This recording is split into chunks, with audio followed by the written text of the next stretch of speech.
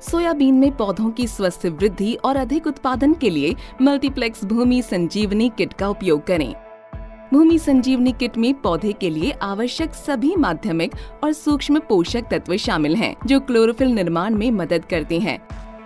विकास को बढ़ावा देते हैं और साथ ही साथ पौधों में शाखाओं फूलों की संख्या बढ़ाते हैं जिसके परिणाम स्वरूप वजनदार फलियों का निर्माण होता है जिसके फल स्वरूप ज़्यादा पैदावार मिलती है। मल्टीप्लेक्स किसान सुखी किसान।